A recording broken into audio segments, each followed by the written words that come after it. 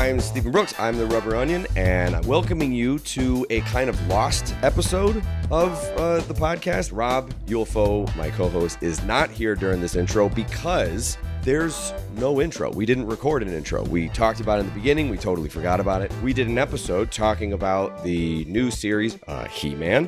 When we were done, a totally new new series had come out. So we got back on, we re recorded something, tagged that on to this episode. By the time that we edited it, season two of the first He Man came out. So we talked about coming back and re recording another thing and then putting it together, and it just got uh, zipped and put into a corner of the desktop and uh, largely forgotten about. I don't remember what we say in this show. So I can't actually introduce it all that well, but I do remember what we titled it. So let me say welcome to episode 278 of the Rubber Animation Podcast. We titled this one He Men. Enjoy. I'm Don Bluth. I'm Harry Partridge, Hi, I'm Tom Moore, teenage superhero. My name's Adam Phillips. This is Robert Valley. and I'm in no way uh, doing a forced plug. No, sorry. I won't that. And you're listening to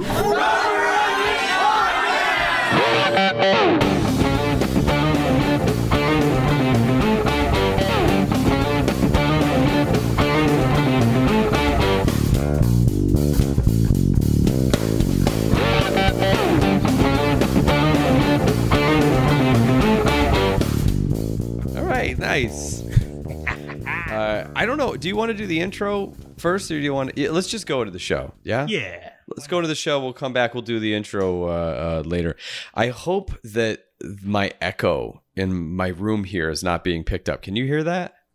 Uh, I do not, but Okay, that's good. you'll sound very godly. What do you mean? You Oh, you mean because the echo? Yeah, yeah. Well, I could put an echo on it right now, and then it would sound great. Oh, that sounds terrific. Thank you for playing along with my future edit. Um, yeah, it's a, a boy. It's it's been a bit, and uh, we've decided we're not going to address it at all because we we've gone into this habit. We've gone into this rotation, and and it's it's all boring stuff. Like we don't need to talk about it anymore. It's the same things every time. It's work. It's moving. It's all that sort of stuff. You moved. I moved. Uh, we're we're at heightened jobs. I'm moving over to a different job. You're settling into yours. It's just there's a lot going on, and then you add that to like all the pandemic stuff, and then the vaccines, and then it was visiting everyone's family, and and you know, it was there was so much going on. Just the same. It's the same. That we don't need to share. It's the same thing as Yeah. everyone knows. Yeah. But some advancements have been made. Oh, have they? Yeah. This is episode blah, blah, blah in the 200s. two two two seventy eight. I mean, currently the idea is two seventy eight. Yeah. and uh, I finally got myself a mic stand. Uh huh. Yeah, yeah. And and uh and how much was that mic stand? It was like uh, maybe $15. Also, you're talking the mic stand like a ta- like a desktop mic stand. uh, wait, no, it's like the one that you have. Like the. the Oh, you did order that one. Oh, okay. Yeah. Okay, because last time we talked, you had the desktop mic stand and you just kept like it it picked up all the sound of you picking up and putting down a glass because it was on top of your desk. So you have you have this one. You have this you have like a, a boom mic uh, and, Yeah. and uh, an actual arm extender thing. I yeah. do want to get the ones that you know people do for podcasts or like YouTube channels where it's like attached to the table and they get to pull it around and stuff like that, and maybe get a Why? I don't know, it looks nice, and maybe get one of those spit guards or the pea poppers, whatever you call those. The, Yeah, spit guards and pea poppers. That's exactly what it is. I'll write that down. called a pop filter. spit guards and pea poppers. They're called yeah, they're called pop filters. Yeah. Yeah, it, it just looks cool. But maybe I Okay. don't need all those bells and whistles. It right? took you this long to buy something that would actually be functionally helpful to the Yeah. recording and the production of the show, and you're going to spend more money because it looks cool. That's true. I don't believe you for a second. You're going to take that money and you're going to spend it on toys. You, you are correct. Oh shoot! You know what? I just it's circular logic because you would consider that thing that looks cool a toy. You know what? I, every time that I need you to like buy something that's uh, functional, uh, to to to life or to the show to like replace this god awful connector you have from your microphone to the computer which is very old and very frayed and has this background hissing sound that I have to uh, cut out uh, for, with with a noise filter. You could just buy another one, and, and like sometimes I'll just buy you something because I don't want to wait. For our lives to be over. Yeah, that's how long it would take for you to buy something that would be remotely helpful. No, of course I'm kidding. This Well, you is know, this is great. This is a corner. great. It's a great uh technical. this is this is August 18th that we're recording this. Oh yeah, maybe is not, but It's not around the corner. you know what? I I bet you they're gonna start putting out some Christmas stuff immediately.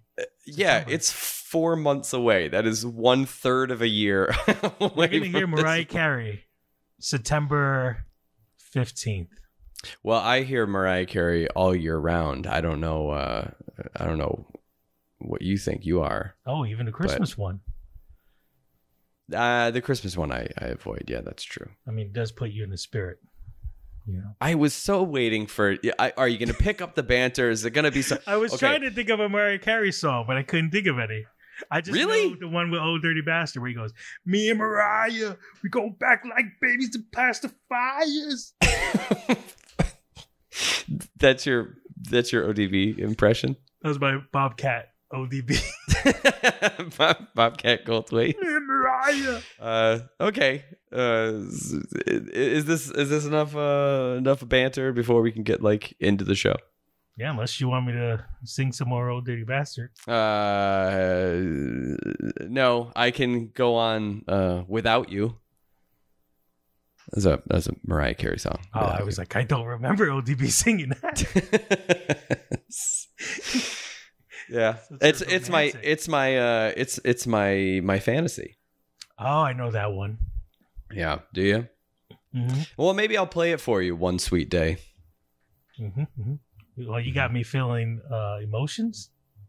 Was that the title of the song, or Uh, it's okay. You'll always be my baby. wow? I I like those are all like I know those titles, and I couldn't think of any. well, that makes me your hero. So let's go on to the first. Thanks for Mariah carrying that. Oh, you're welcome. You're welcome. I, I'm uh, I'm glad that you um uh you see the value of my of my knowledge. By the way, can I just say this? I'm on a ticking clock right now because long story short, uh, I was waiting for Rob to uh, get off of work so that we could do uh, the show. And in that waiting, I thought, you know what? I'm going to bake bread because I had dough already. It was all ready to go. And I'm like, I'm going to I'm going to do this. I'm going to take this time and bake the bread.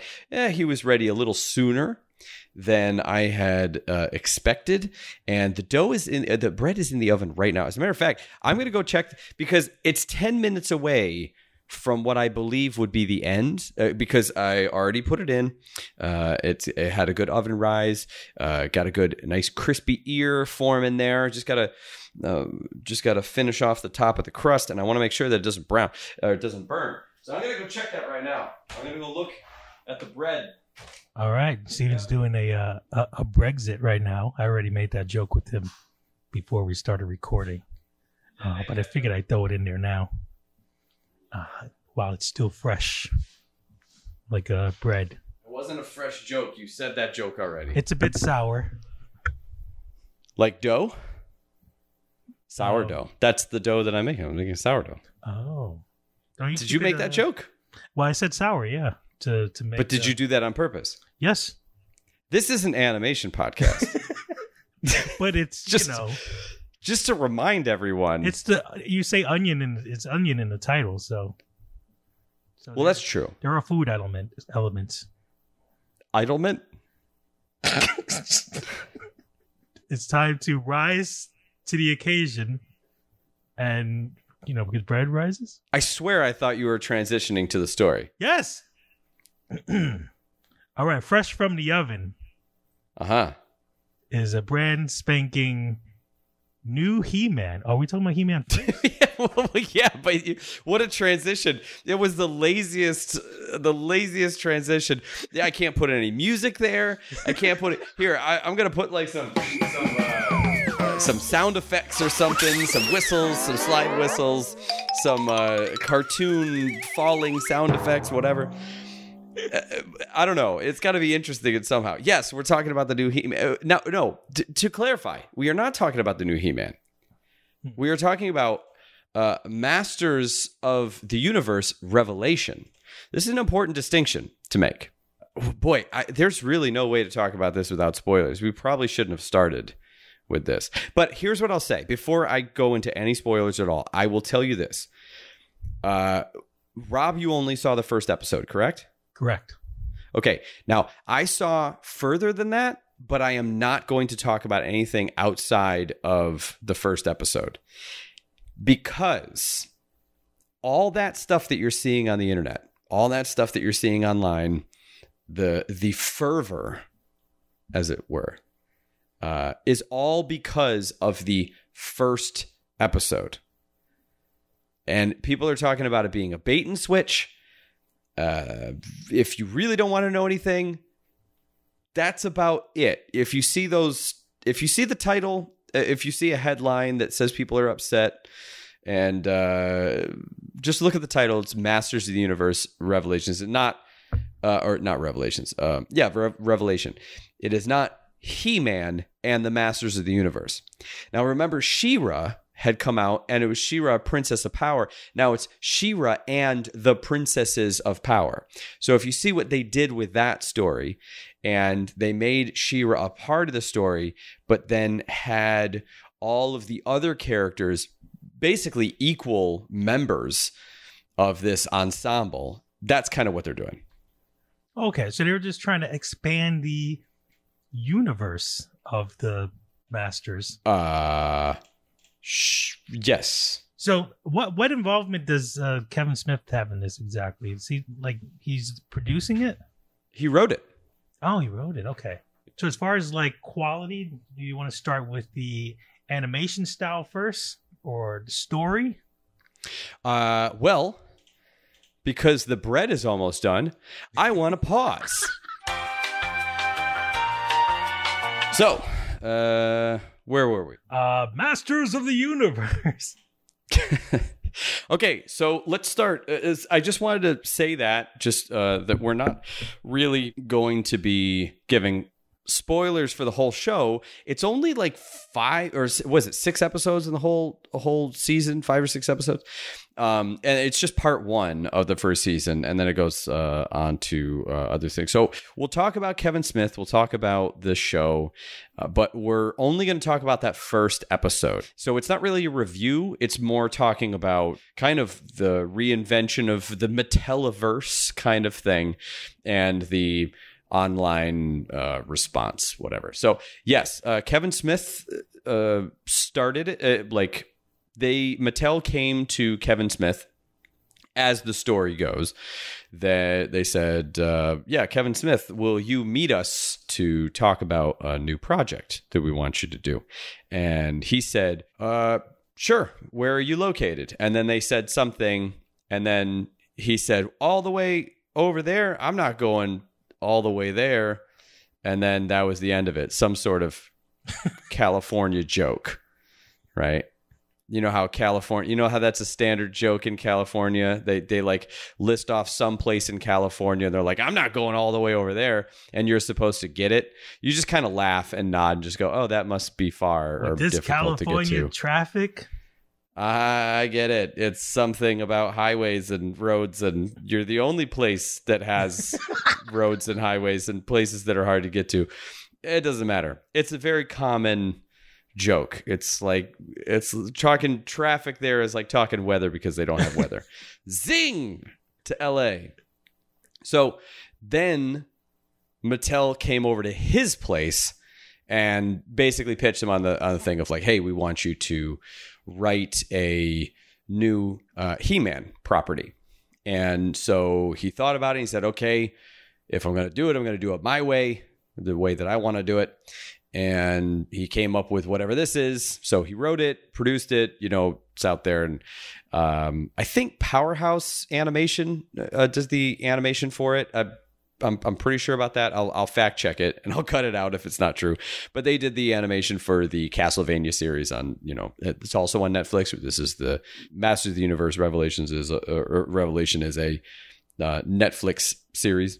And so anyway, it is his in the same way that he would write comic books he comes up with a story he you know and he writes these things so he's involved in a lot of different properties as a writer Yeah. um, and this is one of them. I, I think that he's writing it doing like show running. I'm not entirely sure what his involvement is past the writing into the animation process and stuff like that. Like does he does he talk about designs and make choices like that? I'm not sure about that. I think there are animation directors. Uh so i mean he has he has an ep um, it looks like there are other EPs on here that are from Powerhouse because there's a lot. Of, I'm seeing a lot of people that were invo- involved in uh, Castlevania, and then there's some other ones that are clearly from uh, Kevin Smith's uh, side. You know, I there's um, I'm just I'm just running down the list of producers, executive producers. Uh, Susan Corbin is a producer, and I'm seeing. Uh,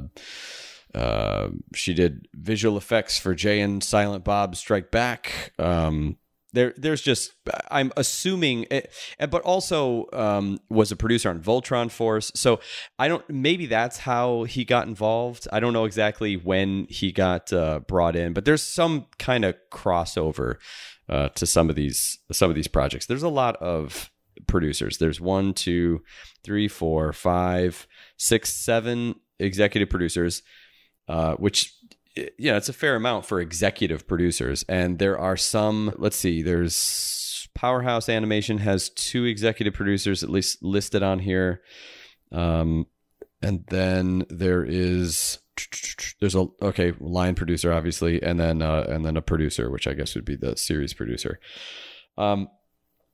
So anyway, it says that there are two directors on here, Adam Conarroe and Patrick Stannard. I don't know if I'm pronouncing either of their names anywhere close to uh, should be, but it looks like both of them did um, animation, were storyboard artists um, and animators on uh, Castlevania. So clearly some powerhouse guys. It, this looks like they're the first directing credit for either of them. And it's five episodes each, which means it's probably two directors per episode because it looks like they're all the same. I'm what I'm imagining is Kevin Smith does the stories, he writes everything, uh, and then they have kind of discussions about what the show is going to be, um, and Powerhouse kind of uh, takes it from there through Mattel. They look at what they want to do. Powerhouse takes it, designs whatever they do, gives it to Mattel and Kevin Smith, and they kind of approve it or don't. Uh, but it seems like a lot of it is done straight through Powerhouse. I, I'd be I'd be interested to find out what the flow is, but it looks like almost all the names I'm seeing on here are either from Powerhouse or they are uh, producing other Netflix properties. Funny that you say that because I uh, they they did uh, uh, Castlevania because I remember one of my main complaints was I just hate that style, and I, I hate Mm. the like American version of anime style, and uh, I think with this one it works better because maybe it's just uh, a property I I'm more familiar with, but like it's still it's still a style that I just can't really. Enjoy. Do you think this is? Do you think it's the same style? Um, there's no because it was a lot darker Castlevania, and like I, I think what bothers me when I noticed, um, their their mouths move, but their chin doesn't go up and down. And Well, yeah, that, that's. I mean, that's a. That's not just to anime, but yeah, that is a, a kind of a, a classic thing. Is is just the head is its own structure, and then the animation uh, happens within the mouths uh, inside of it. But it happens in a ton of cartoons as well. yeah, and it's hard to complain about animation style when He Man, the original animation, was not great at all. But, but Yeah, like- exactly. I do like that stuff. But but maybe I, I'm okay. I'm just being. I'm maybe I'm just talking from like a nostalgic point of view, where it's just like You're absolutely like talking from a nostalgic He-Man point of view. But to be fair, I think I don't even know if I liked He-Man the cartoon or I liked the toys more when I was younger. Well, I mean, a, a lot of people they so it's it's funny because I think that what happened and this is at least what I remember from my brain. The toys, even for Teenage Mutant Ninja Turtles and for the show, um, they were separate. They they occupied separate parts of of my brain. It was there was the show and I could enjoy the show, and then there were the toys and I could enjoy the toys. Same thing for He Man. The toys were their own thing. The show was its own thing. There were shows out there that I liked but didn't want the toys. There were toys out there that I wanted. I didn't want to watch the show. Um, there were kind of separate things in my head, and I don't know if that's a common feeling. I don't know if if other people feel that way, but for me, it's kind of uh, uh, separate. I think I was introduced to the toys first because my brother was into He Man. He had the toys, and then I played with his toys before I probably ever saw the show. But yeah, I liked the show. It's general, you know, fantasy uh, engagement for kids. You know, it's it's a it's a land. There are problems to solve. There's you know beasts and you know strong people and magic and I don't know Yeah. things happening. It's funny you say your In this one, what's that? No, your older brother, because my older cousin was a he had all these toys, and I used to go to my aunt's house, and every time I left there, he was already done with them. My aunt would give me a He-Man toy. I think that we have I think we might have talked about this because it got to the Said that before, yeah. I went to visit, and I was about to leave, and she wasn't gonna give me one, and I I put up a fuss. yeah. Uh, am I not gonna get a He-Man toy? Uh, why am I here? And Yep. I got it. You've told that story before. By the way, as long as we're talking about things we've uh, said before, uh, episode 203 of the Rubber and the Animation podcast is when we did our season one review of Castlevania, Oh, uh, the Netflix series. If you want to go back and revisit that, that one is a cool hour and two minutes oh, look uh, and 30 seconds, but you know, whatever. Um, so uh, this one, when I when I saw the episode, so now we're gonna talk a little bit more about um, kind of the the style, you know, getting into it, some of the uh, the voice acting. Let's just take a moment. Um, can you even name all of the voice actors in in the the show? I cannot. No, Uh, do you know any of them? no, not at all. Is you it- couldn't recognize anyone's voice. There was a few in there that were very, very obvious, and I was picking them out as we went along. No, is it like uh some some big stars in this? Yes. Okay. So I'm just gonna go down the line. All right. Uh, he Man is uh, this guy Chris Wood.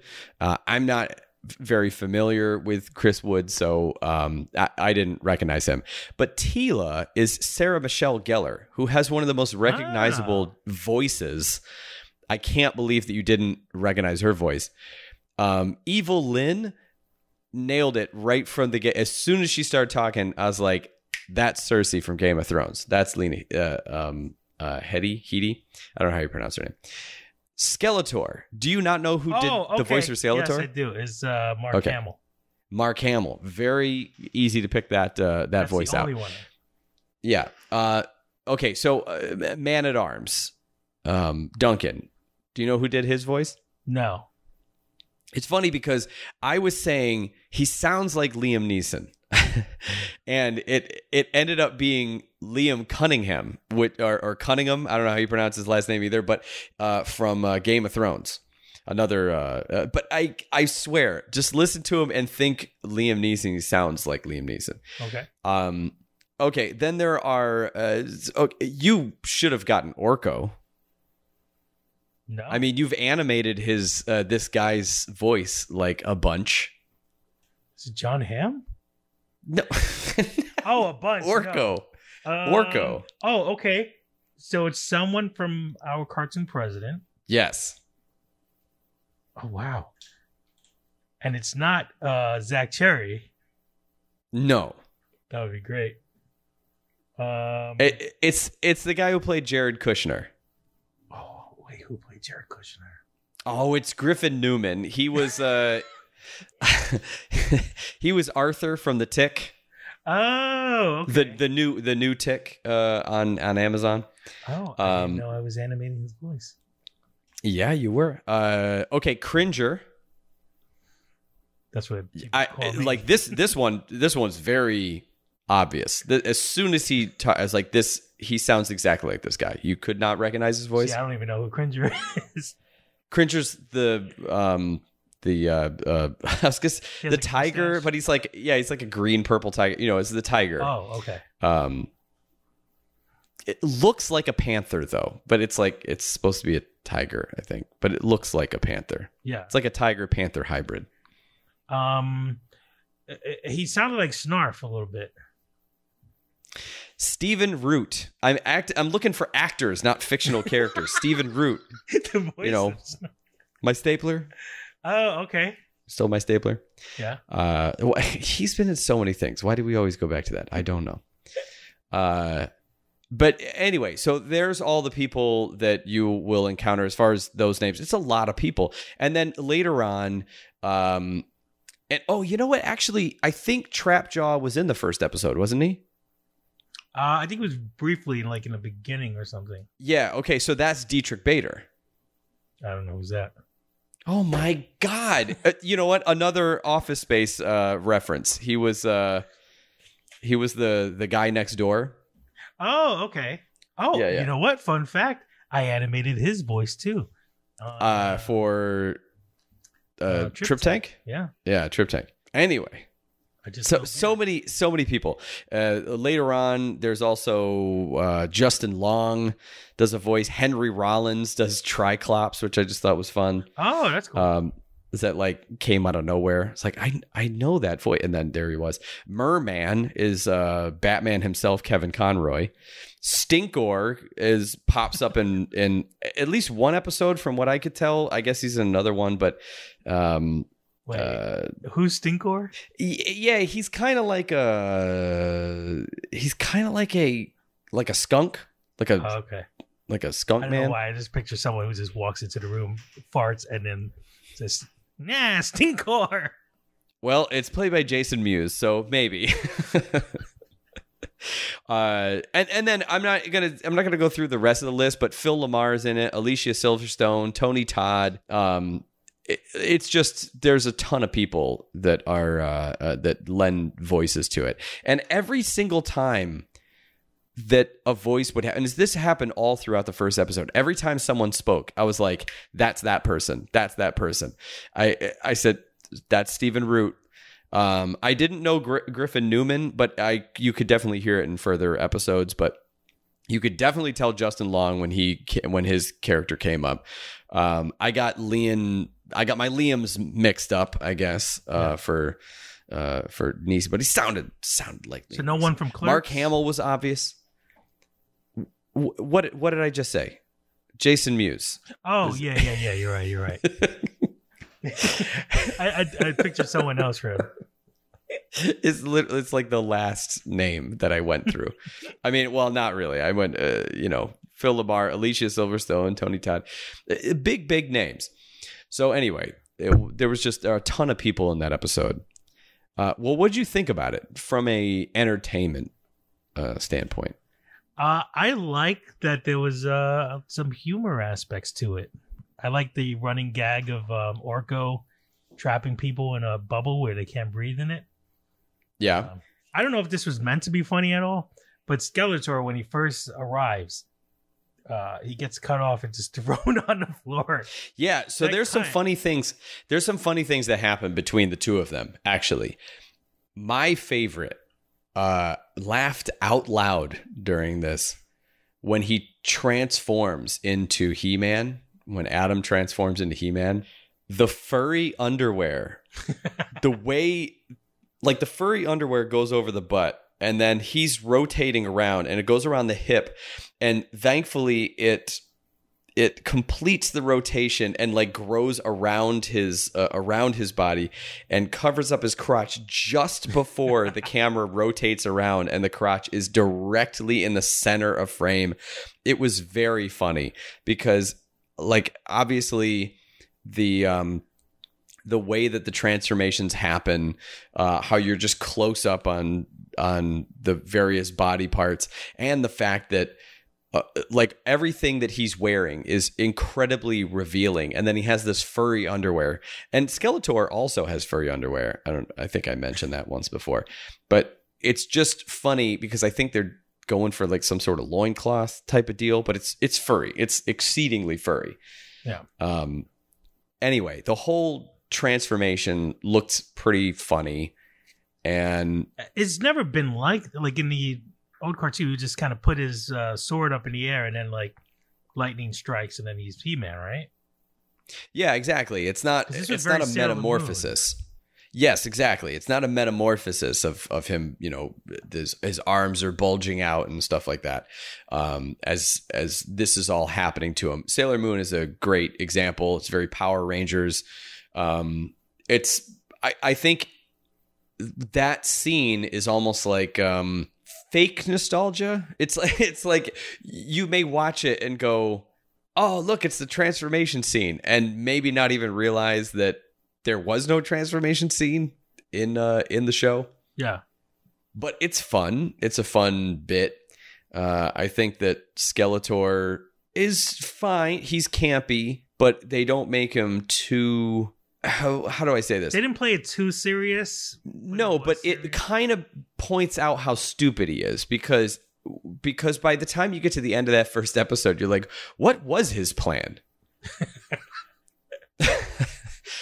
I don't want to say too much about what's going on before I give an actual spoiler warning, but it was it was funny uh, the way that they put all of the characters together. I like to, you know, Evil-Lyn and the uh, the sorcerers. Uh, the sorceress is super powerful, and um, yeah, it was fun. It was a fun opening I, scene, I gotta say, fun though, opening show. when it first started, and they had like the graphics uh, in, at the beginning, I I love that. I love the way it looked. I love Uh-huh. the um, they they used kind of like a an effect, but it looked like these like um almost um like oil painting colors, you know. It's and then uh when the actual animation started.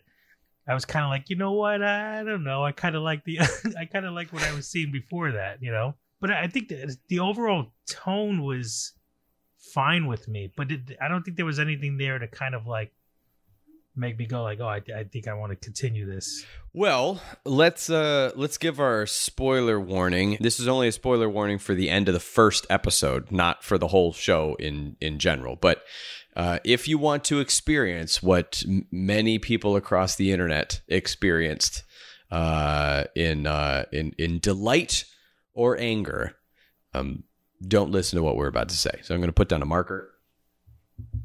Okay. Uh, so why don't you break it? Would you? What happens at the end of the first episode? They all, I was confused a bit because they all get frozen in Oh. time. And He Man goes like, the only way I could solve this is if I die. And then, uh, oh, he stabs Skeletor, and Skeletor's like, I've been waiting for you to do that for to use that weapon for years. It felt like such a weird. It felt like when you're playing toys with when you're a kid with a friend, and like, oh, you're dead. Oh, am I dead? No. Somehow, He Man's sword opened up this this weird thing, and the only way He Man could stop it is if him and and Skeletor dies at the same time. The follow up the follow up, he has any involvement in the rest of the series. But Uh, okay, so you explained more than I was thinking. Basically, what I was trying to get to is He-Man and Skeletor die in the first episode. That's that's the head. That's the headline. The point is, um, it's what happened was Skeletor got what he wanted. He he went there. He saw the source of the power in Castle Grayskull, and they were trying to get into it and everything. And then it turns out that they couldn't get into it. The only way they could get into it was uh, to use the sword of power to actually use it like as a as a key, basically to open up the central part of Castle Grayskull, and then boom, there's your you know there's there's all the power of eternity, all the power of the universe.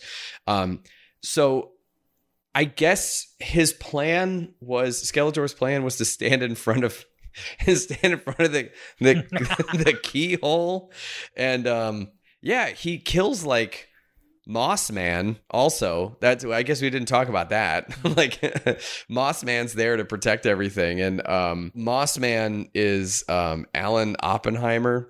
Uh, he was the original Man at Arms and Cringer. Skeletor. It sounds like an imaginary name. Let's mark here. What's that? His name doesn't sound real. Uh, Oppenheimer. I'm listing off Alan Oppenheimer's uh, roles. He i for voiceover roles in uh, he was Overlord on Blackstar. He was Skeletor, Man at Arms, Merman, um, and uh, uh, I guess he was also Cringer and uh, uh, Battle Cat. But listing off his his things here, I'm seeing Skeletor, Man at Arms, Merman.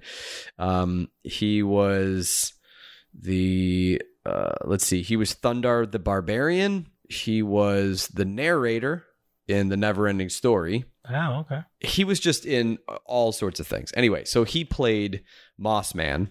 So I bring back this this great voice actor who'd done all these things and the original show, kill him in the first episode. uh, and so that's what kind of makes He Man upset so he's charging after him with uh, charging after Skeletor with the with the uh, with the sword, stabs Skeletor right through the chest, and then Skeletor says that line about you you know you finally used it, and we think it's about him using it to like kill him. So that's that's a meta thing, but actually it was his plan to have him open up the power or whatever. So they open up the power or whatever, and it, it just sets off this cascade reaction where Skeletor and He Man can't contain it. He Man needs to do it himself. It breaks the sword apart, kills him and Skeletor, and then there's like there's the the Enchantress is just like trying to hold it all together. It's ridiculous. I can't actually figure out what the point of it all was. Well, I think that Kevin Smith really wanted to uh, work on Clerks 3 and uh, he needed to wrap this up. It felt like a very rush ending. Uh, yeah, it felt like the ending of a show, and I I thought that uh, like the the uh, like a series finale, and that's why people are upset. People are upset because well, the yeah, the trailer looked awesome. Like the trailer looked like I feel like they just they made it seem more like badass than than it really was. Well, I don't know. I don't want to say badass because I watched the next few episodes and I'll just tell you that like what they do in it is very much the same thing as what they did in She-Ra. And I like She-Ra. I thought it it worked really well. It's uh, they're going all over Eternia. You're meeting all these different people. People have to you know band together, and there's weird alliances that are formed, and uh, it's cool. It's a it's a cool idea. It's a cool concept.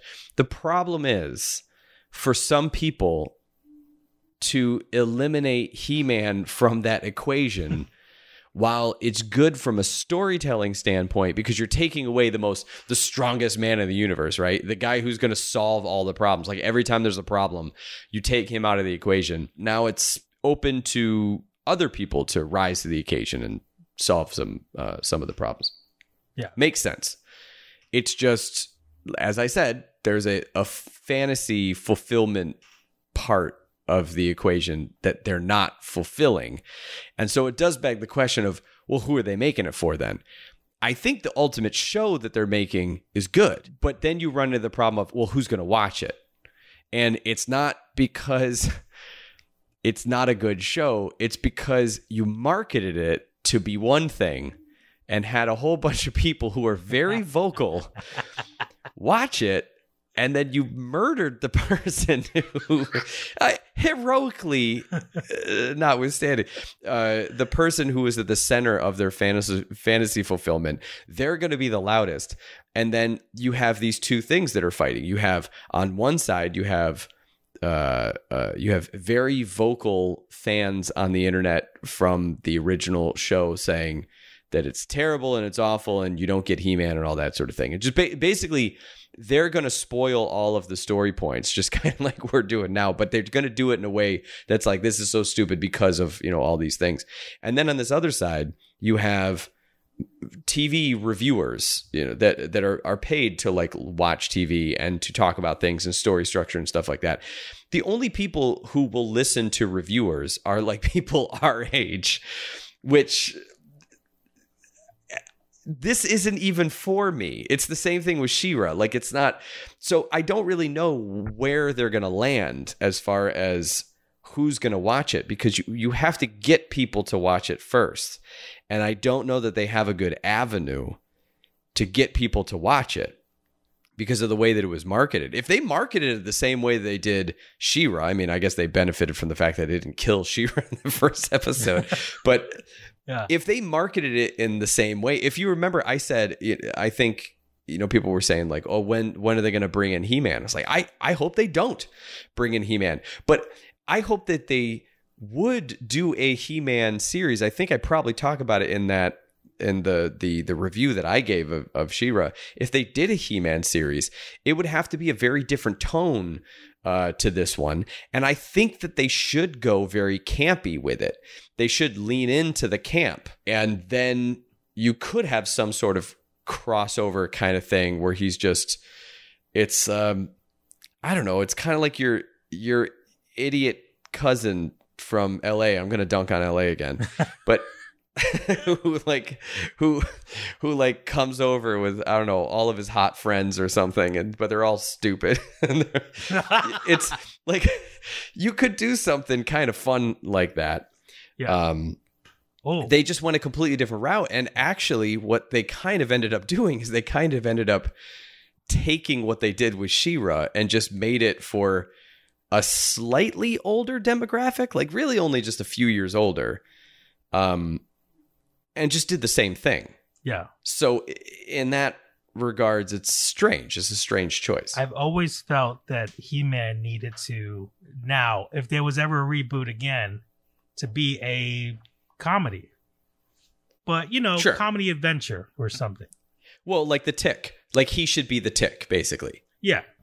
Yeah. And like or either that or go fully like like primal, you know, something like that.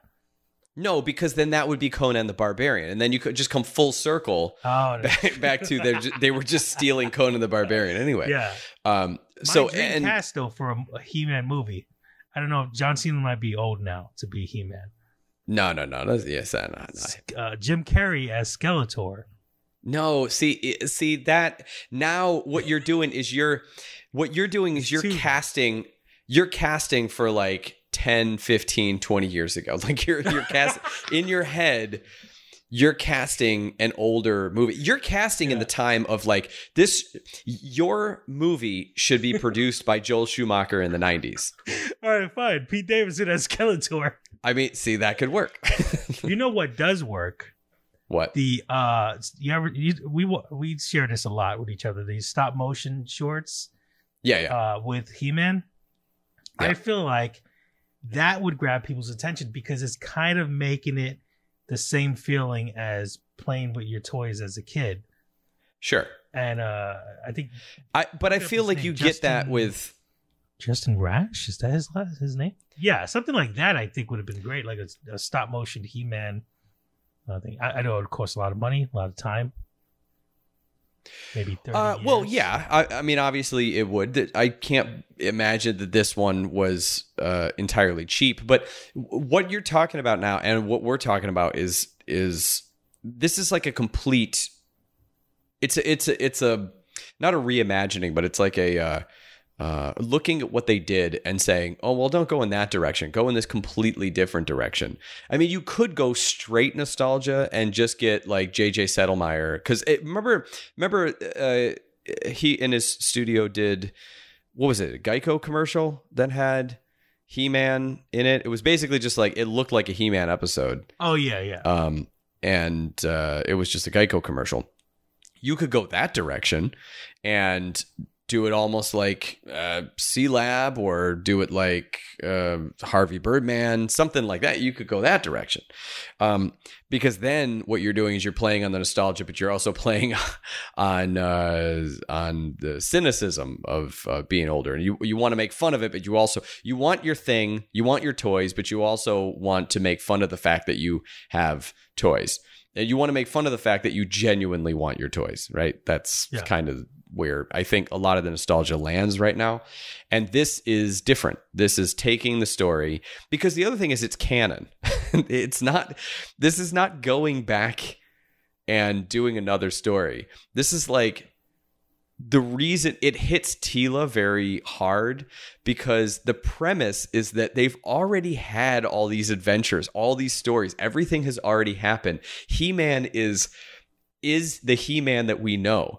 So he dies at the end. So you watch all of He-Man and then at the kickoff of this and I think you can probably ignore the what was it 2002 version of He-Man 2003 Oh, yeah, yeah. whatever. I think you can ignore that one although that one was pretty good. Um but but and see that one they went in the kind of uh, Lord of the Rings uh, style type of deal, um, but kept He Man in it. This one they're focusing more on Teela. If you could think that Teela's kind of like the the the focus, and it's an interesting idea that Teela was like the character who was closest to everyone, who was also the one that didn't know that Adam was He Man, and they they kept that going through this whole thing. So you have like He Man's girlfriend uh, made explicit or implicit who doesn't know that Adam is He Man, and then they kill He Man, and then find out she finds out that He Man was Adam, and her brain is broken. She just runs away and and goes off, and she becomes like some sort of mercenary or something. And then now she's uh, going all over Eternia. It's a fine concept.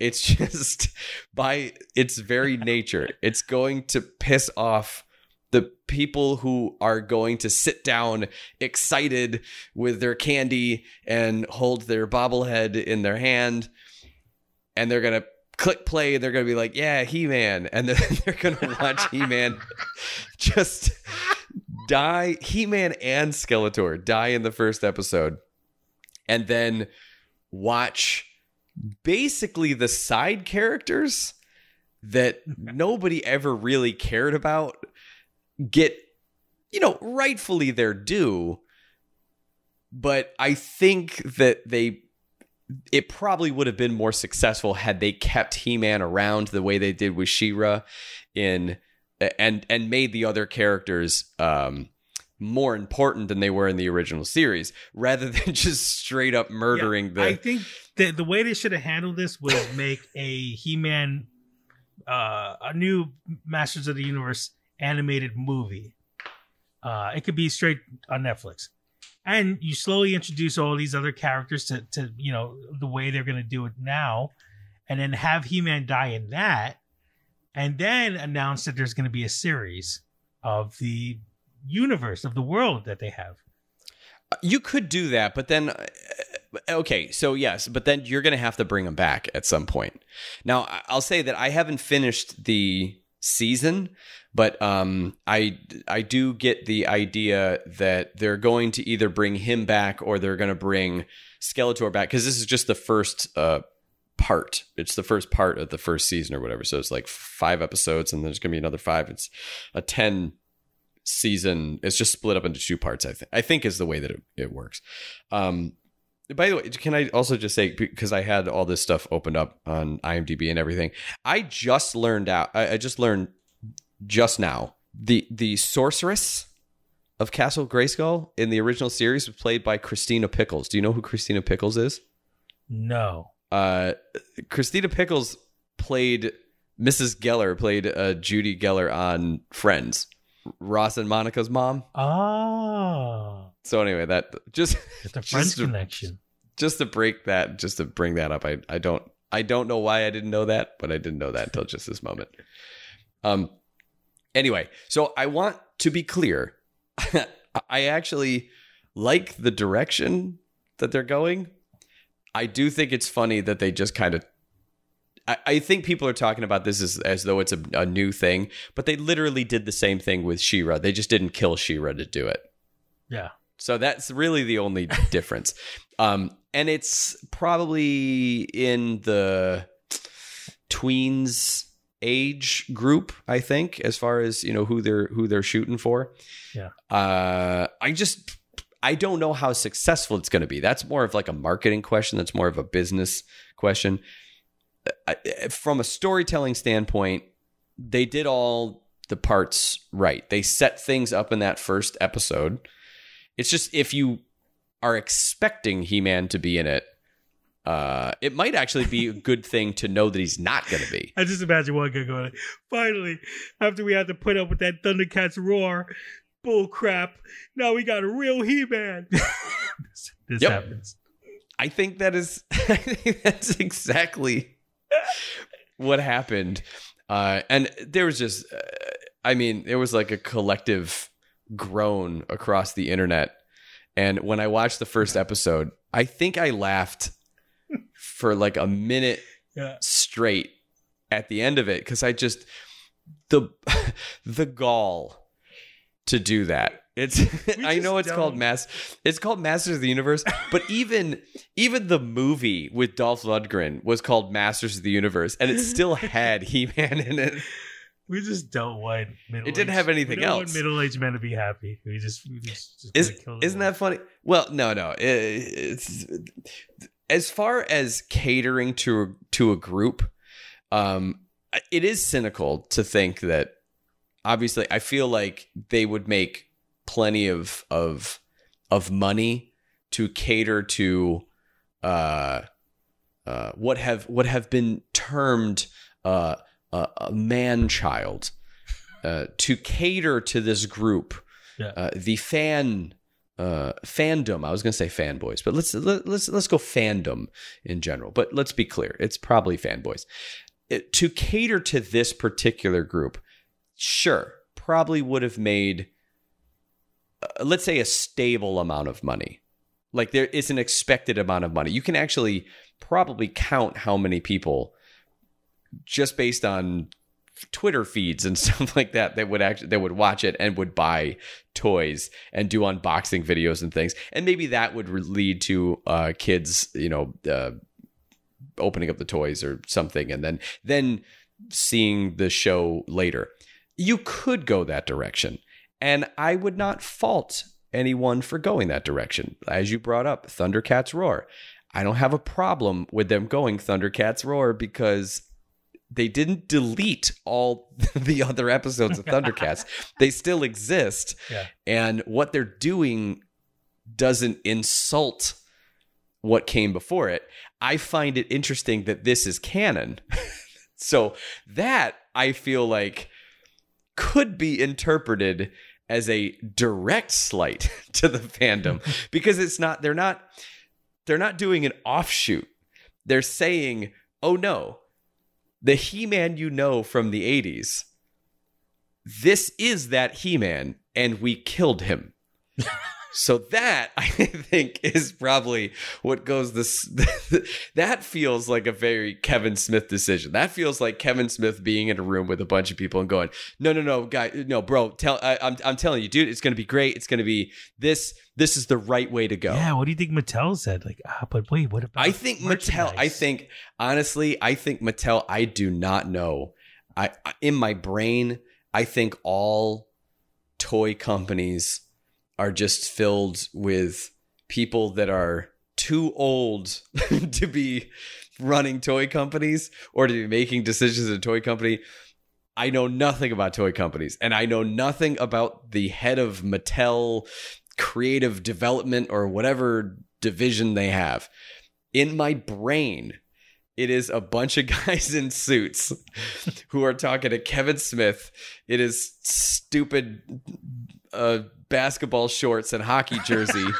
uh, talking to them, and they think they're talking to this this this man child and they're like he's got the ear of a generation he's not going to steer us wrong and, and meanwhile he's like what can i do that will just make people angry and they thought let's trust in kevin smith not realizing that kevin smith has not been quote kevin smith for quite a while now he is he is podcaster extraordinaire Kevin Smith, the the filmmaker, pop culture, uh, pulse having icon Kevin Smith has not been around for like.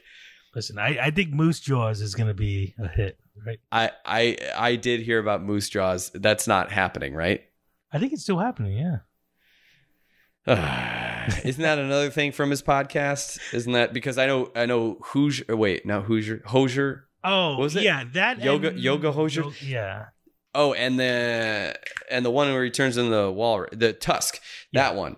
Uh, those were both ideas from his podcast, which are just like, man, it almost it feels. You know what it feels like? It feels like these movies are, um, uh, art prompt a day.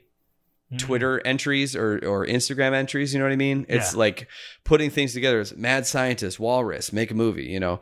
Um, animation battle. it does. Yes, an animation battle. It doesn't feel like that's that would have been a better thing to say because that's exactly what we do.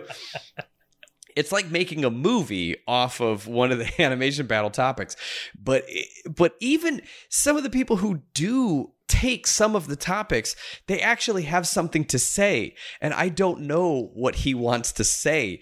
And so this one was very interesting because it does focus on other characters, and it focuses more, almost like a um, uh, yeah, like a like a character study, like a character exploration, and it, it feels like it's actually trying to say something maybe a little bit more than what I would imagine the last couple Kevin Smith films are. I don't know. I haven't I haven't seen them.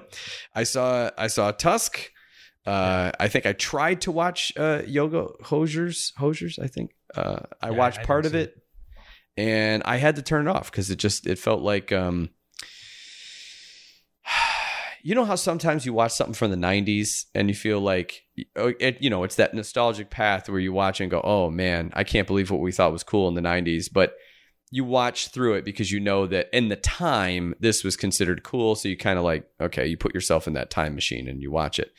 Eh, this felt like that but in a more embarrassing way because it was modern. Yeah, I don't know. That's what happened in, in my brain when I was watching. So anyway, I feel like this is remember talking about Tim Burton and all of his missteps that we've that that he's had in, in movies, and then we watched Frankenweenie, and really liked Frankenweenie the movie. That but it was an animated uh, movie, and I know I'm an animator. It's an animation podcast, but here's my thesis. uh, people, directors, auteurs who may, from an outside point of view, feel like they have lost some sort of spark of storytelling. Uh, to really want to get in and explore something with with a with a character, uh, give them an animated project. Maybe the speed, the sheer speed slowdown of an animated project makes them sit down with the story a little bit longer and connect with it a little bit more rather than just going, This is my next project. Maybe there's something there. Mhm. Maybe there's something there. Just slowing it down. That's my thesis. That's my hypothesis. Ooh, thesis is in hypothesis. that's correct. Do you want to say anything? Um, so your overall analysis of this That's another good word. uh, of this uh, new He-Man. Uh huh. Will you continue to watch? For those of you who who heard his the sound of his voice get a little weird there for a second, I'm watching him very serious, just like I know you were itching your nose, but No, but just like was right in there. you you stuck your you stuck your finger like right in a nostril to the point where it was it's like it's like if you were trying to prop up a tent it's the stick that went in I felt a little brain in there. uh, sorry go ahead continue was what you saw? You said you're what, like uh, two episodes in? uh no no no i'm i i watched uh four episodes Yeah. Oh, okay. hmm yeah yeah All right. So yeah, you're gonna continue. Um, Mhm. do you think, as a He-Man fan, will you like? Does it does it hold up? Uh, do you ever say like, man, I still feel cheated? I didn't feel cheated because i didn't invest Yeah. in I'm sure if it was episode the reboot of Teenage Mutant Ninja Turtles and they killed all the turtles, and then see that's i was thinking about that i'm glad you I'm glad you brought that up because Teenage Mutant Turtles would be a hard thing to do. I think I had the same feeling with Splinter.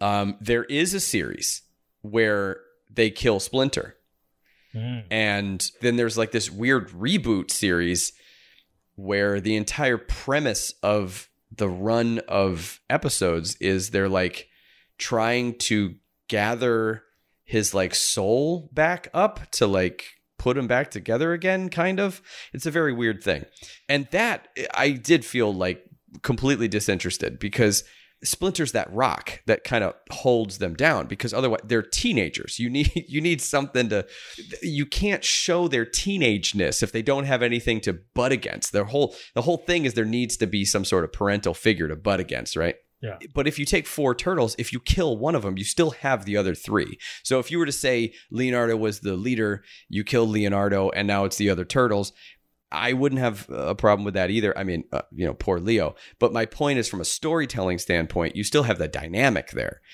Uh, I think what happened if you take away the fantasy fulfillment aspect of uh, some guys looking at He-Man and wanting to be He-Man, and then they just killed the strongest man in the universe.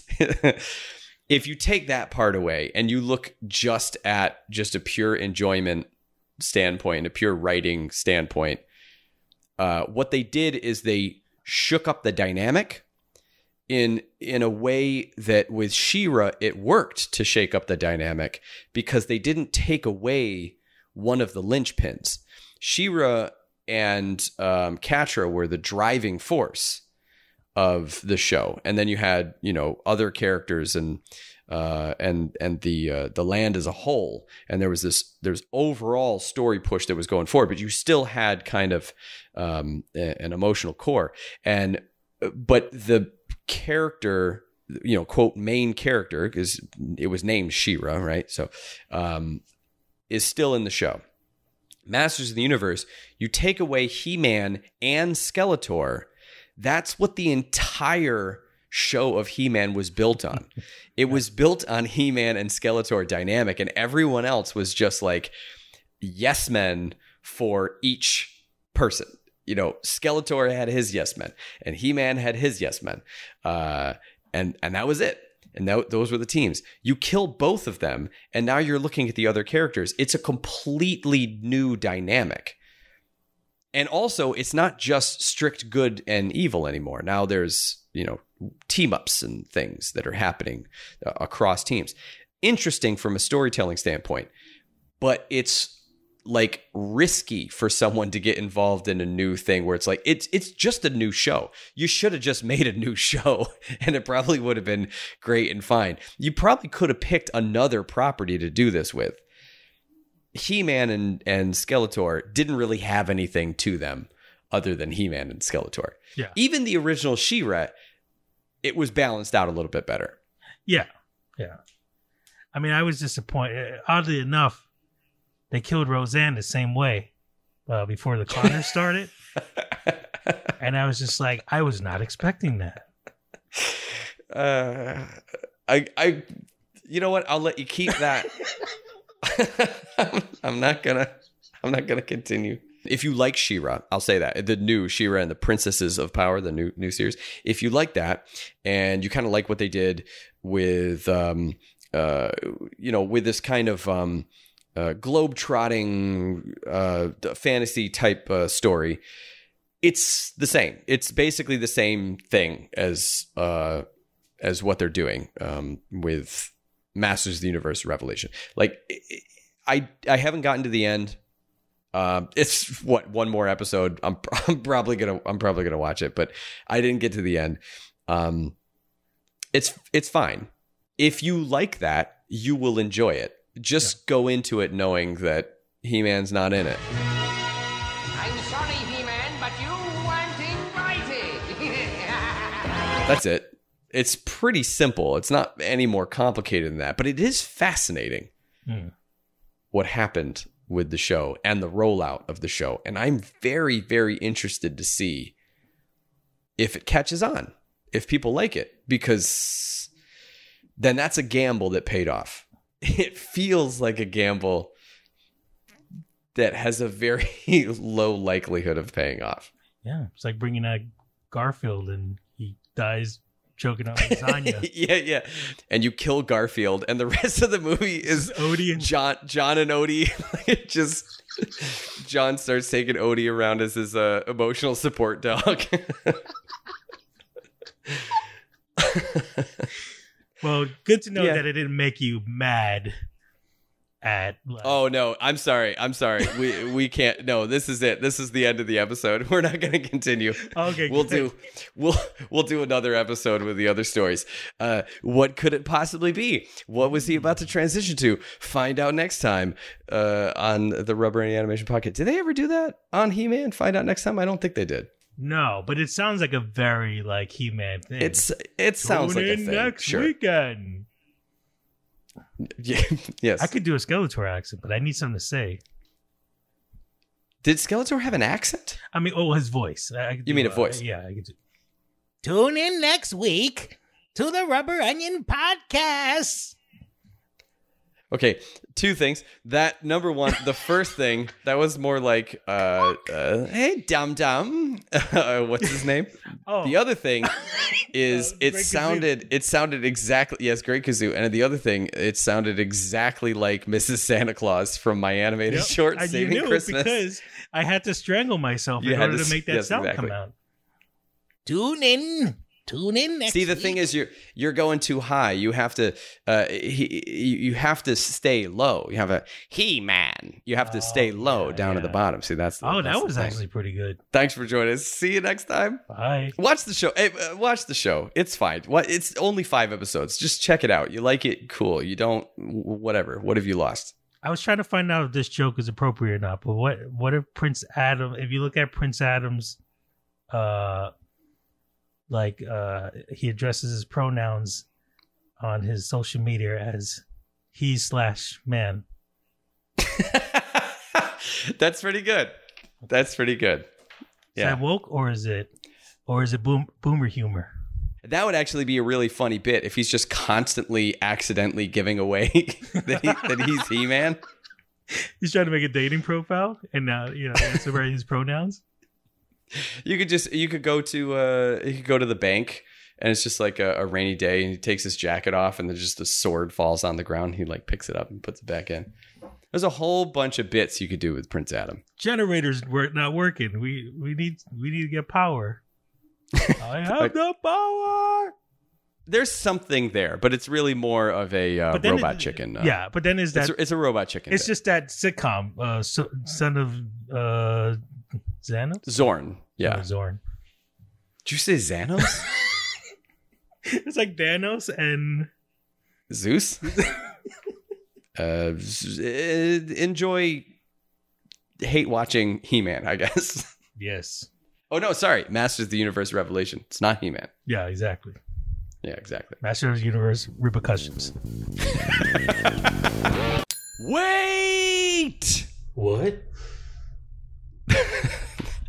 we actually recorded this entire episode of the podcast.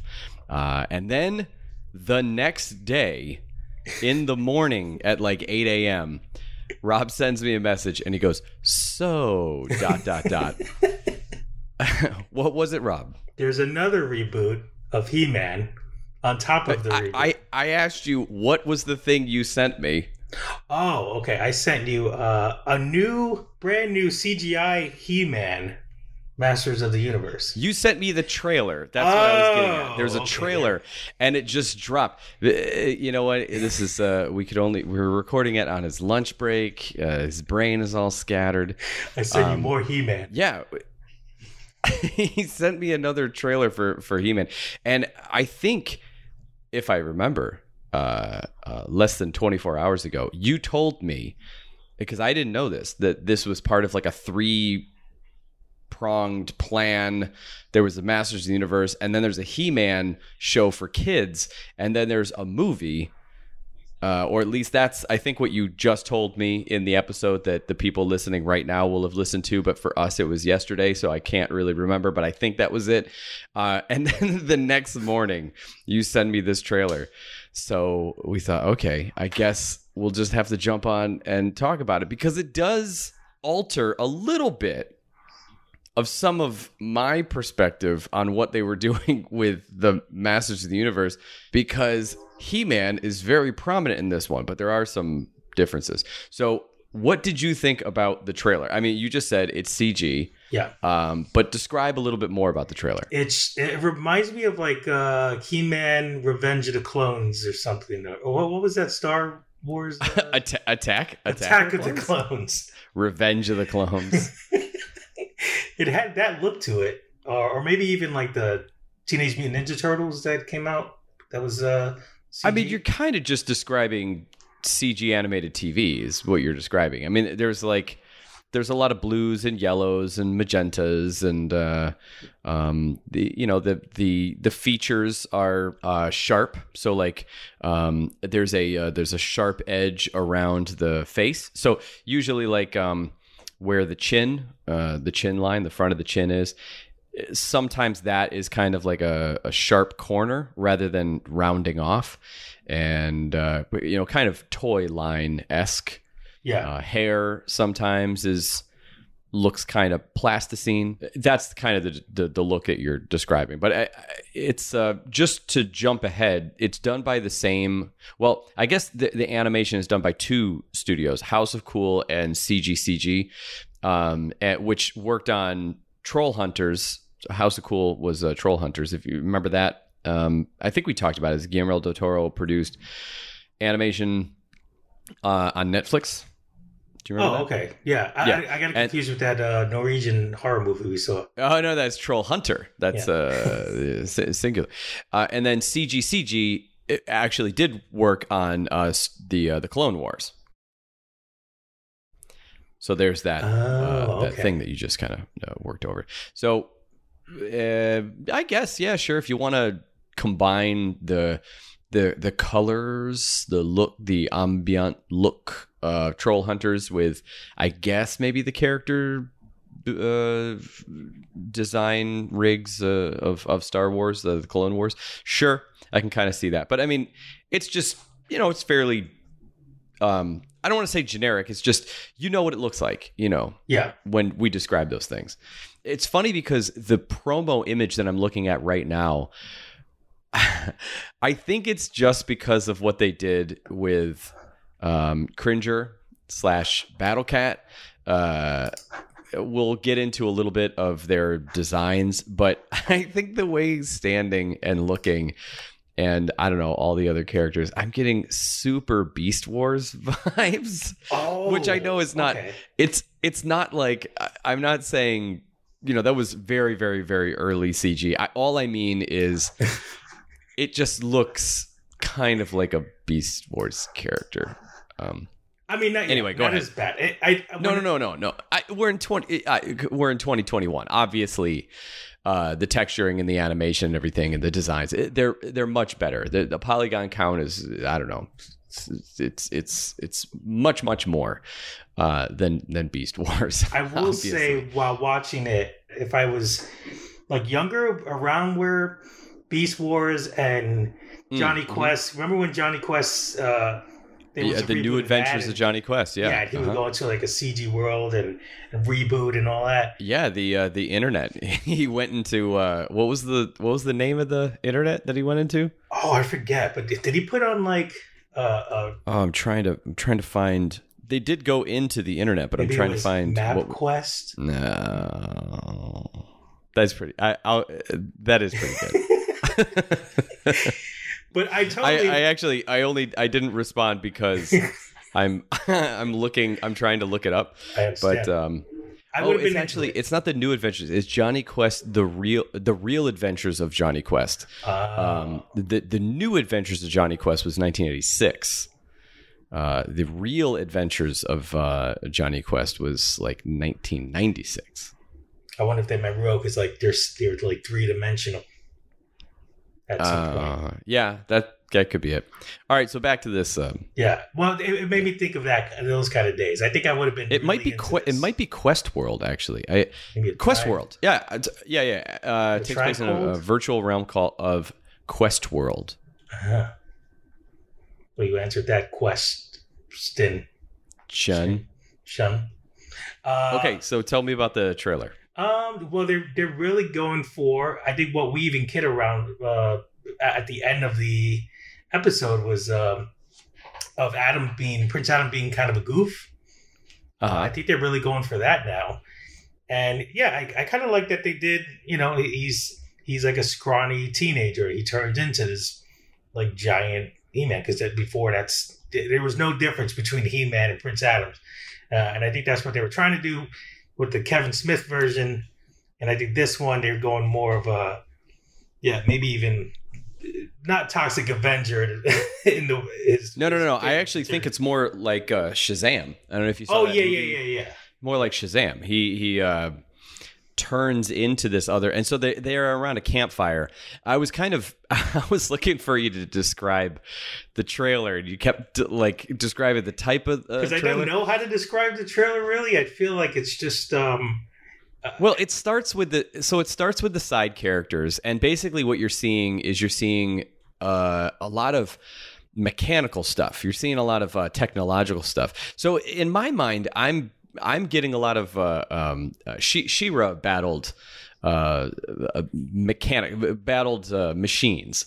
He-Man battled magic. So it's interesting that they're rebooting He-Man and they're all kind of like um oh what's that game? Over Overwatch? yeah. Um you know, kind of like that. I, I mean, I don't really know much about Overwatch. I just all I know is um they're they're get up they're they're in these kind of like suits of armor uh, they have these uh, uh, unique weapons and things like that so you're kind of seeing these different characters and then you get this moment that's a lot like um, it's King Arthur. It's you know Sword in the Stone. It's uh, it's actually almost exactly like the scene from the Green Lantern where he's trying to say the Green Lantern thing to turn him into the Green Lantern. He's kind of re- trying to repeat repeat a phrase, and so he's saying, you know, by the power of Gray Skull, and uh, he has this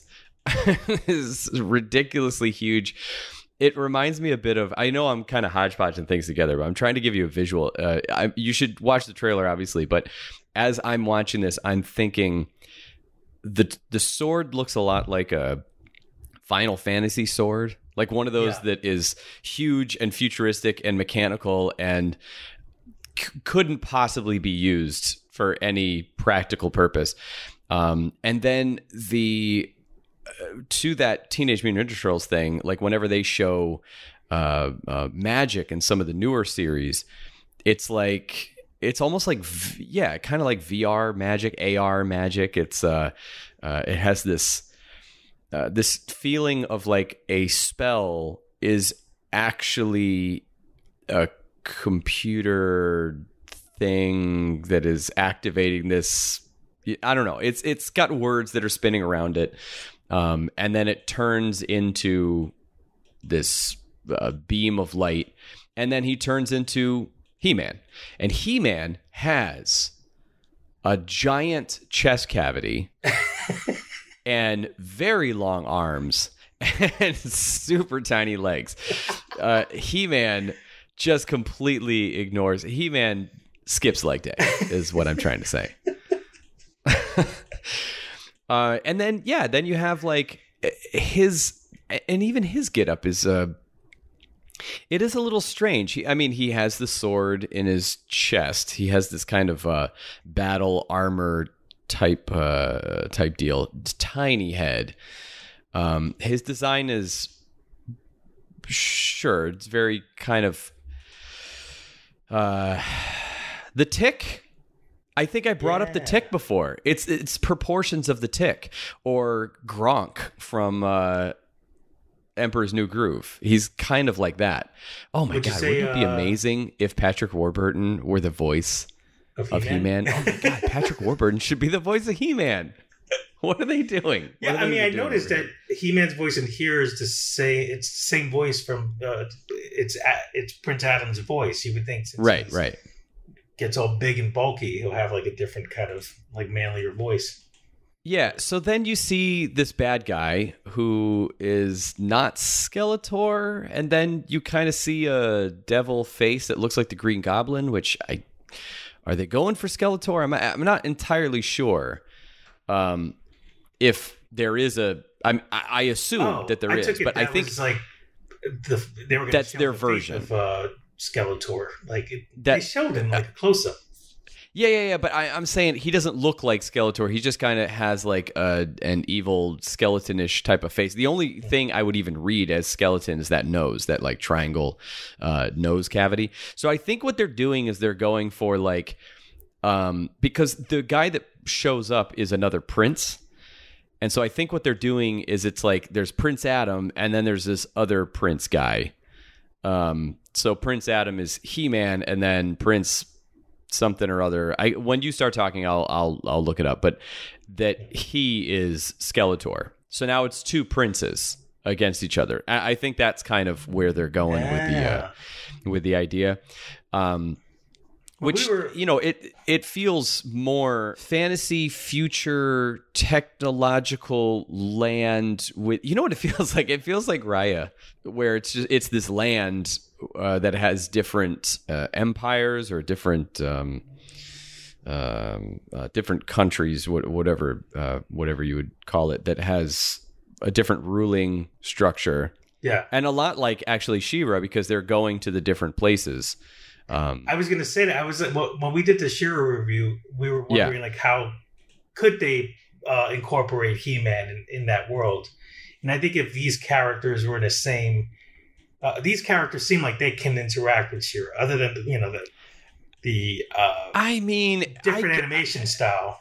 I guess so, but I actually think that She-Ra is is skewing a bit older. Actually, I think this is skewing very young.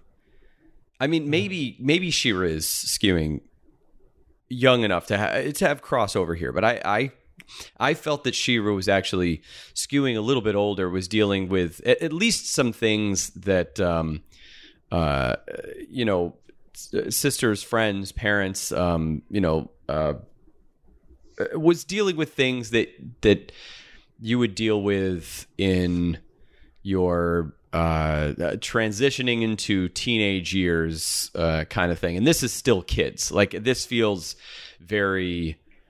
Maybe Um, like Big Hero Six. I, I guess kind of Big Hero Six, sure, but I mean Big Hero Six. I still feel like be, maybe because it was a movie dealt with uh, dealt with different things. This feels very young. This feels like, and maybe I'm totally off, but it feels like late single digits. I guess like a eight, nine, ten years old. I don't know. Is kind of what I'm what I'm getting from this. But I, I may be totally wrong. Up to 12. I don't know if I don't know if kids that are like 13, 14, 15 are going to are going to dig this all that much, you know what I mean? Now we were talking about um, Mattel and their thoughts on He-Man dying early in the Kevin Smith Right, right, thing. Right, right. And I, I guess maybe they thought, well, you know what? We have another He-Man coming. So maybe it was the death of the adult uh, for our He-Man. Yeah, that totally a that totally makes sense. That totally makes sense. Absolutely makes sense. I, I just again I kind of look at this and I'm just thinking it it just feels they're going in such a different direction, which is great, but it does feel somehow samey as other things. And I, I don't really know what it is. I think maybe it's because I, I, I brought up Voltron, but Voltron's not around anymore. Uh, there's uh, I don't know, Troll Hunters is uh, the anime, the one of the animation companies uh, worked on Troll Hunters. It feels uh, kind of like that. Feels uh, uh, I don't know. It just it feels. It doesn't feel like it has its own uh, uh, very unique um, uh, perspective on things. It's just kind of like another series to fit in there.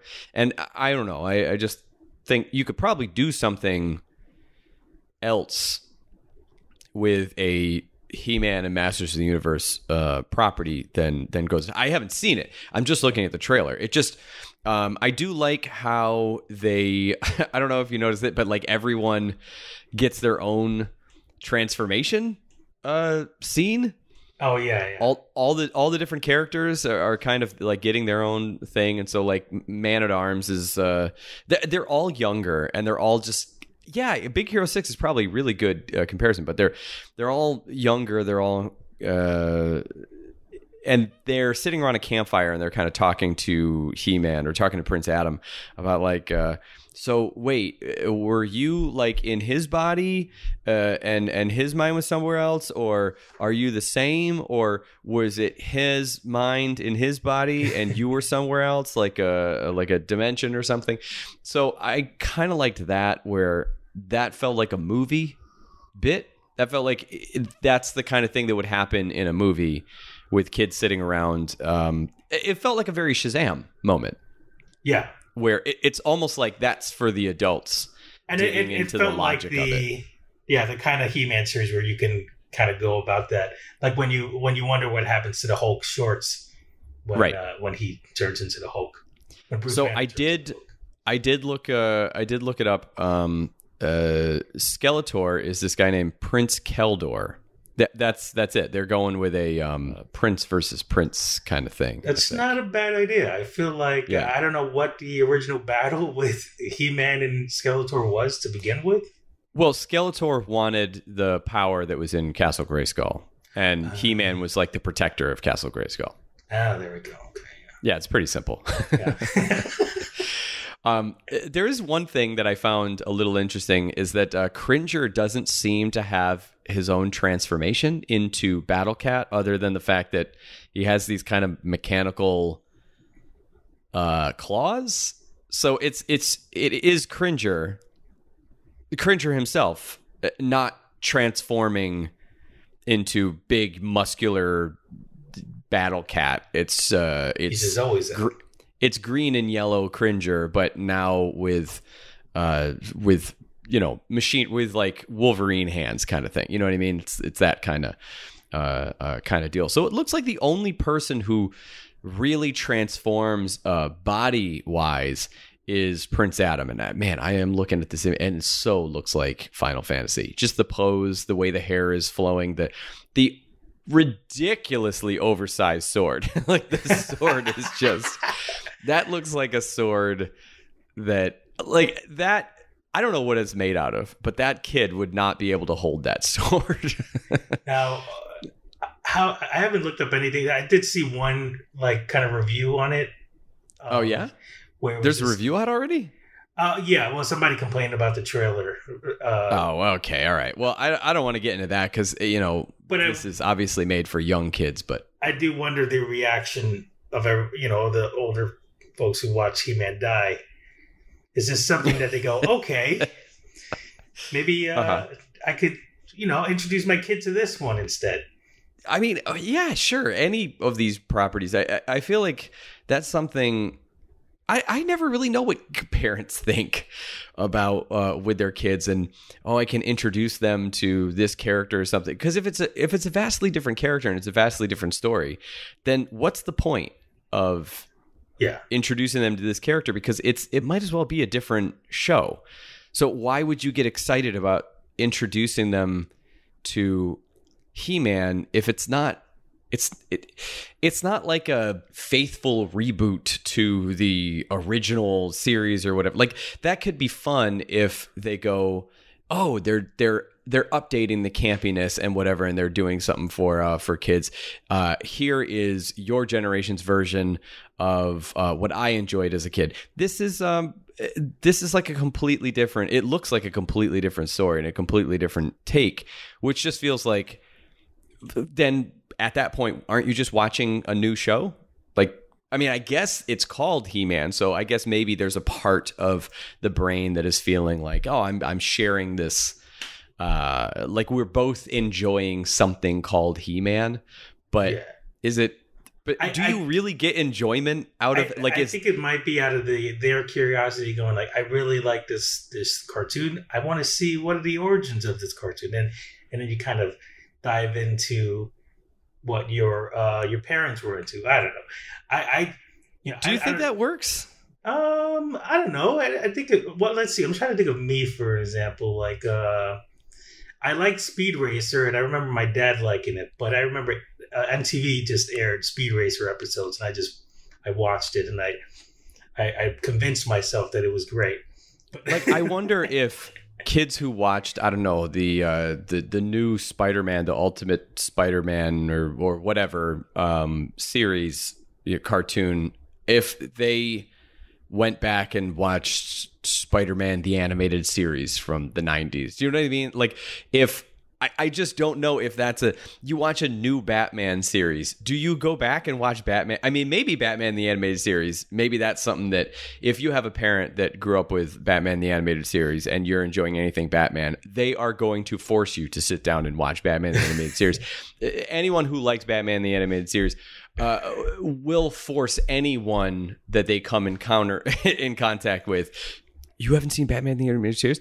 Let me send you my dissertation on why it is the greatest cartoon ever made. I, I I feel probably the same about the turtles that the new series you could probably go back to a certain amount and I think the movies the original movies I think would still hold up as enjoyment for kids. I don't know if the original cartoon would. I think it, I think if the kids are very young, maybe because they're just trying to soak up. They're just they're just going. This is more turtles, and it's kind of like how we watch cartoons from, you know, the twenties, thirties, forties, fifties. It didn't matter. It was just like oh, mine was they're cartoons. '70s cartoons. When I was I was just like, I can't I can't watch any of this. I don't know if I still can. Well, that is another thing because the 70s, um, it, yeah, it is kind of funny uh, talking about the 70s in particular. If you think about filmmakers from the 70s, I actually just had a conversation about this. Like the filmmakers in the 70s and the pacing and everything. If you think about they, let's say they were starting to make films in, are in their 30s, which means that they started watching things uh, back in the 40s or or uh, depending on when in the 70s if you're in your 30s it's like let's say 40s 50s whatever. What are they watching in the 50s as kids? And then you think about what their parents were watching and if their parents it, sometimes you know kids you know you would just like watch a thing or listen to a thing like a radio you know uh, whatever your parents would want to listen to uh, maybe there wasn't as much kid content. And so what they end up doing is they end up doing like their own kind of thing. It's like a, an, an adult version of their own adult entertainment. They kind of get some adult entertainment when they're a kid. They grow up. They become more you know quote adult. Uh, there's a bit of a pushback against it uh, in the 60s you're you're watching things in the late 50s and early 60s things become much more prevalent in entertainment. There's more things for kids. So then they grow up and boom now we get the 80s just like the crazy people that are coming of age in the 80s they actually had some children's content when they were a kid. This is total hypothesis. But it's i wonder if because i'm seeing this now with our age group and I know the type of entertainment that we absorbed, and it is so influencing the type of entertainment that is out there now. And it's almost like just trying to find anything we possibly can to retool uh, for like a younger generation. And sometimes you do a straight reboot, sometimes you spit in the face of it, and sometimes you just do something completely different. You're just like, I'm just going to call it the name of this thing. But one way or another, everything is going to get remade because the best way that you can think how to connect with kids now is to connect with what you liked as a kid. And we have tons of entertainment stuff to mine from because our generation was nothing but selling to kids.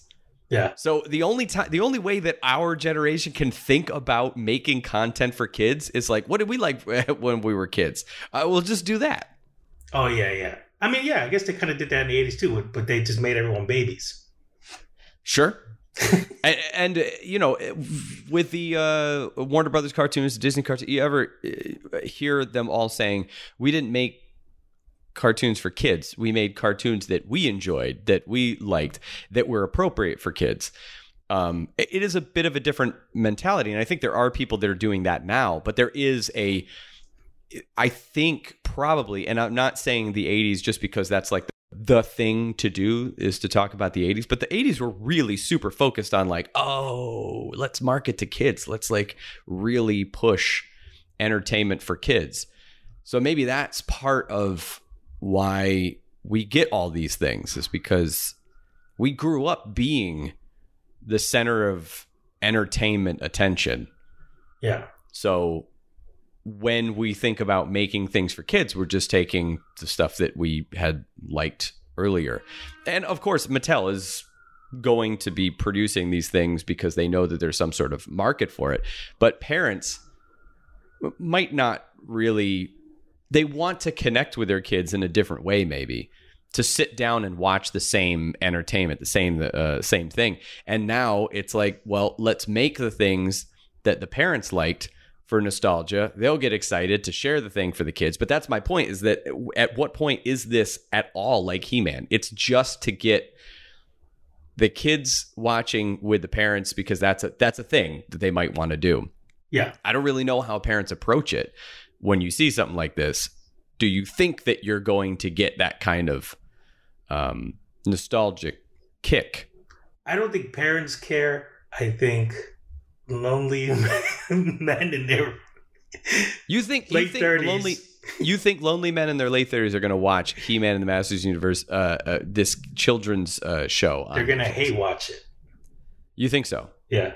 Well, that I think that's few and far between, to be honest. I don't think very many people are going to uh, our age group are going to watch this. No. They might they might put it on to see like a, a an episode or two or a few episodes, but you really have to be starved for content. I think to watch something so out of your age range. Yeah, I, I think yeah, I think a lot of people who act, who make content like we're doing now is gonna probably watch it and review it or talk about it. But Right. I but I do think because it's the He Man name, and if you were a He Man fan uh, back in the day, you're gonna people are gonna watch it. They, they, but uh, they're not gonna be happy about it.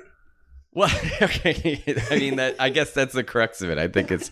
I think it's interesting. If you I oh, just, did uh, you see the likes uh, and the dislikes of that video? Oh no, no. Uh, let me let me look that up right now. Yeah. Um, oh, 5,000 likes and 11,000 dislikes. so I think it's pretty obvious. That's, wow. Comments are turned off. Now I wonder though, is that because it's? I think with YouTube kid videos, they like like uh Sure, like sure, sure. That might be it. Yeah. kid content is uh th- there's no comments allowed. So I don't know if that's because of Listen, listen. This is a diverse group of kids.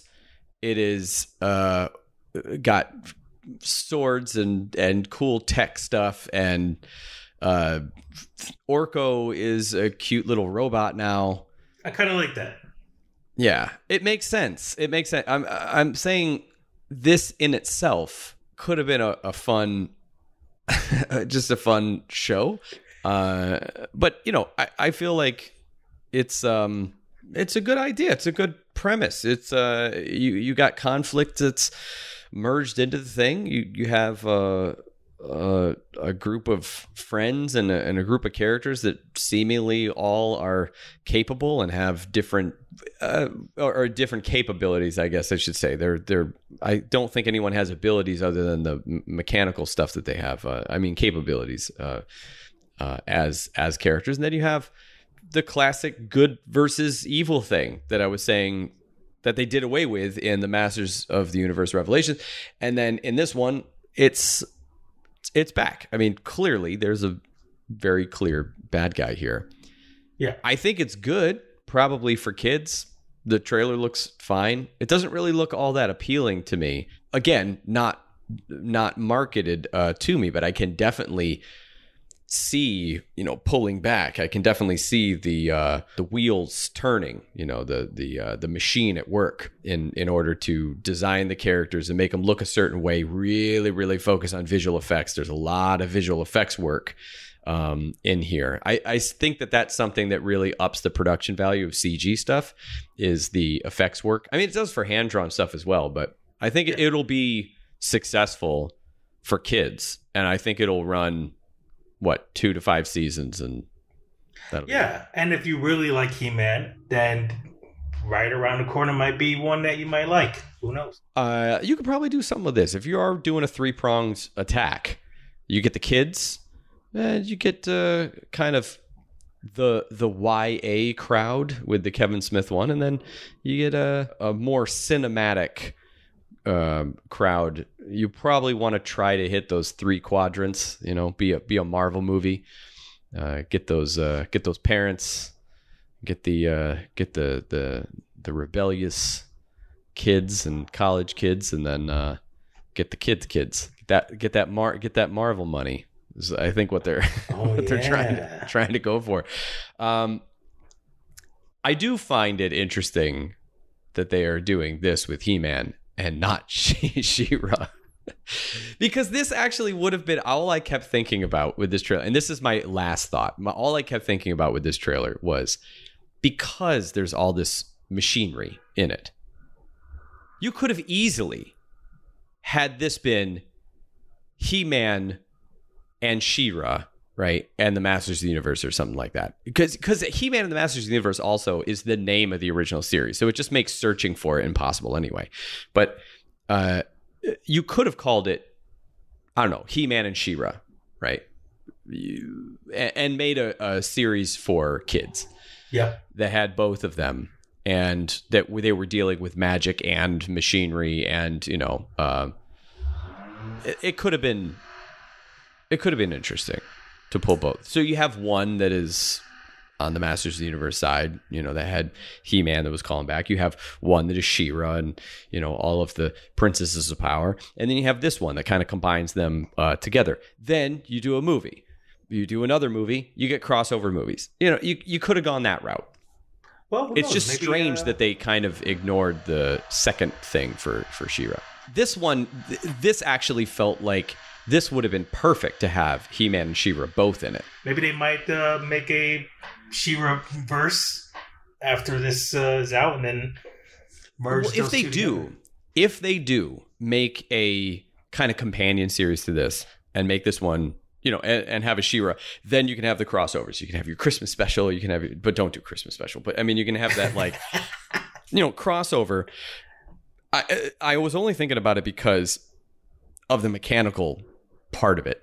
But if you wanted to do something like that, you wanted to have some of the maybe you maybe you switch it up. Uh, maybe you have uh, magic be the the main thing in the She-Ra series, and then the crossover is maybe one solution fixes the other. You know, like He Man is at a standstill with uh, with Skeletor. You know what I mean? yeah, I just want a Skeletor series.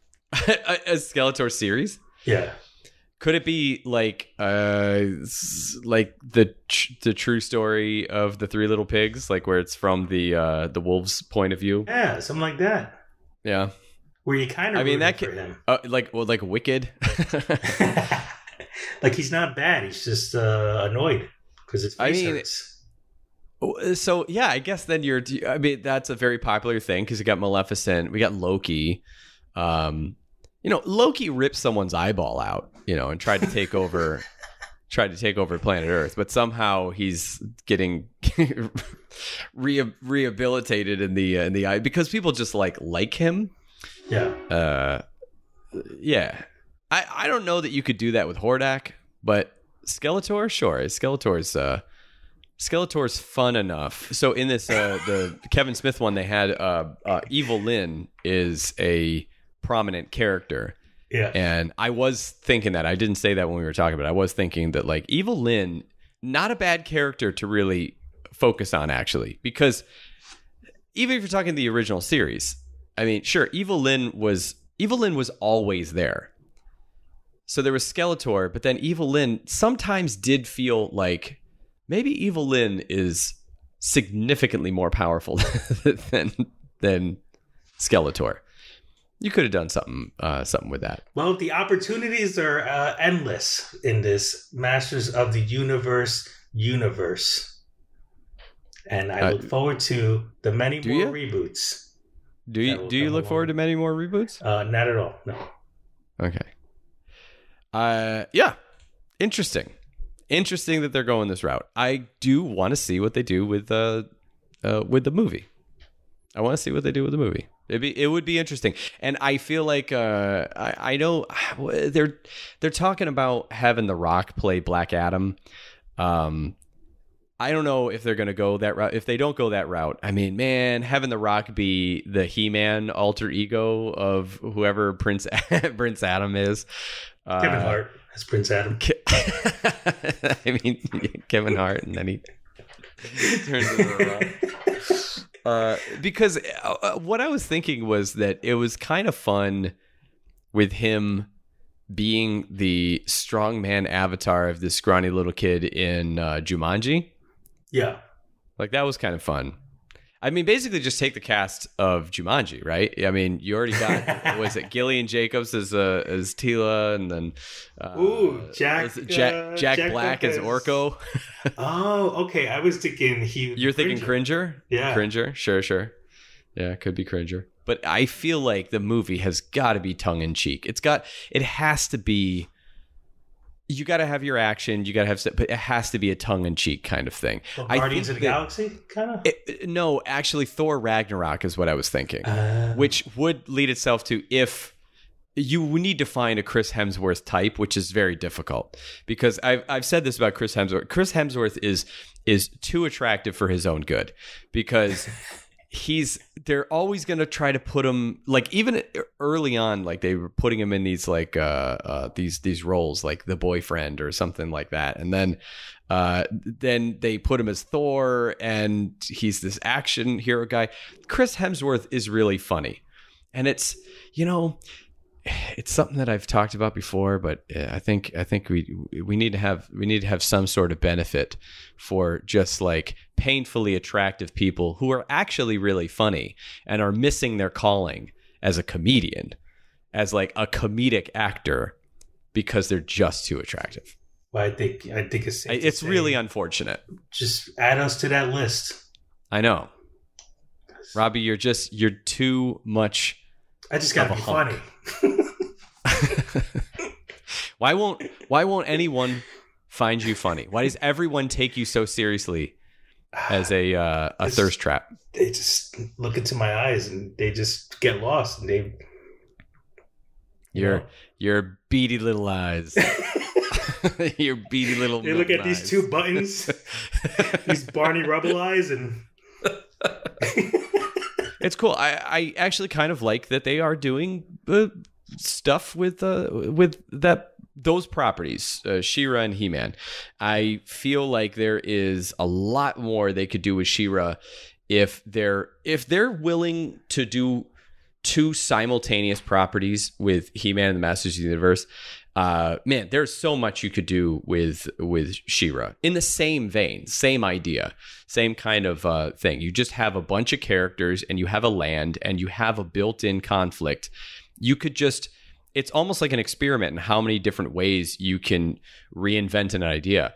If you look at these two series, imagine just for a moment someone came in with an original pitch for the concept of He-Man and the Masters of the Universe and two alternate paths. One went the Kevin Smith way and one went this children animated series way. That's kind of what happens in series creation. You do a pitch, They like the idea. Yada yada yada. People are brought on board. You get studio notes. So let's make it. Let's let's make this more for this age group rather than this age group that you wrote it for, or vice versa. Or yeah, we like it, but we think that this this He-Man avatar character who's just the can solve all problems. Like he's got to go. Maybe we have flashbacks, you know, that kind of thing.